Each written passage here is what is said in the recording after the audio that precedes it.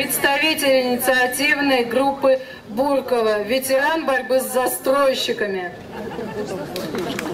Людмила Демин.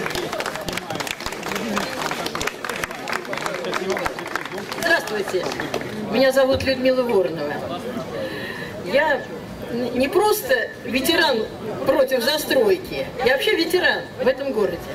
Моя семья живет здесь примерно с 12 века. Это выяснено и доказано. Это специально для Копцика говорю. Так вот, господин Копцик подписал застройку Бурковских полей. Бурковские поля были внесены в зону рекреационную Лосиного острова. На них нельзя ничего строить, кроме дач. Можно было построить дачный поселок. Значит, сейчас там, я не знаю сколько, тысяч там будет. Вот сейчас несколько домов у нас уже в Бурково не плюнуть. Вот просто. Значит, на берегу я живу, вот мой дом стоит на берегу.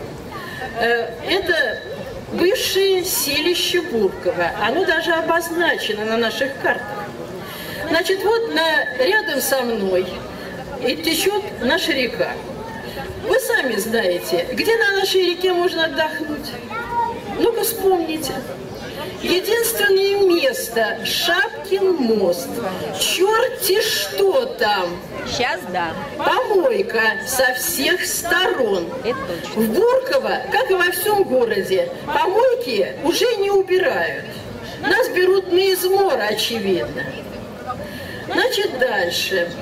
Вот эти вот все, несколько домов уже застроенных, с Бурковского поля, театральный парк. Когда мы боролись еще, мы спросили у застройщиков, а почему театральный парк? Да тут у вас артисты. Наверное, я артистка. Ну, я литератор, я не артистка. Но у нас больше нет артистов. Поэтов много, и писателей есть. Места красивые.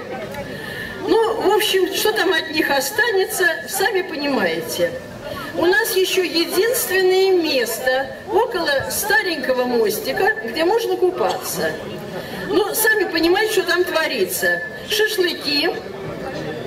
Это значит, надо с утра до вечера вызывать МЧС, как нам советуют пожарники. Ну ладно, даже об этом не буду говорить. Это я закрою. Значит, что поимела Буркова?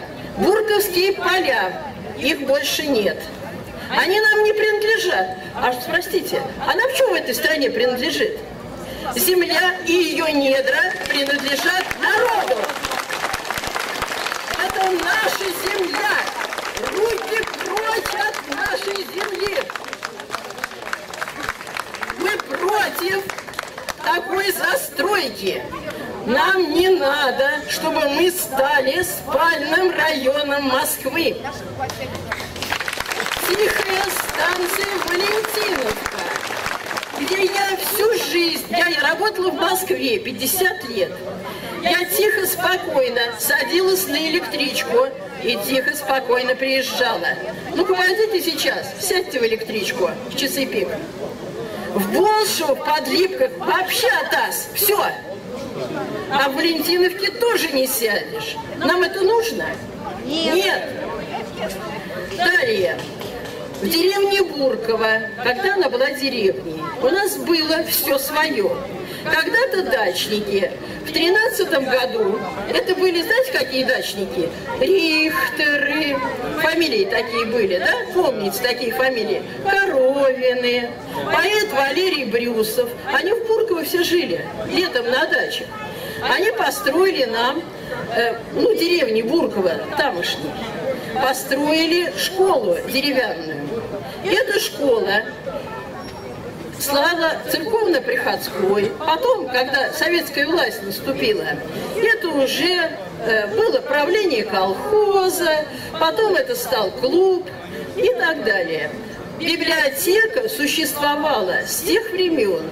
Это дачники первые книги в эту библиотеку вложили. Так вот, еще месяца не прошло. Снесли они этот клуб. Мы за него боролись. И Путину писали неоднократно. И доказывали, без всякого основания. Путин что говорил? Несколько раз. Храните старые клубы. Зачем вам их трогать?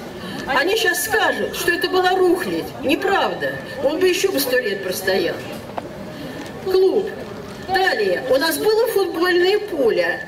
Сейчас там стоит ВЗУ. Водозаборный узел для микрорайона Театральный парк. Когда его планировали, все было нарисовано там. Водозаборный узел был в пределах театрального парка. Что вы лезете в нашу деревню? Приезжал Копцик, стоял, клялся, и не раз. И в клуб приезжал, и слово давал. У нас все документально засвидетельствовано. У нас все заснято. Теперь хоть краснейте, хоть бледнейте, мы вам не доверяем никому в администрации.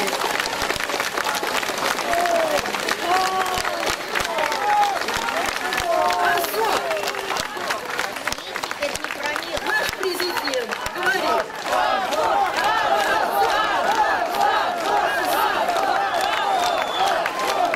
Кстати, минуту.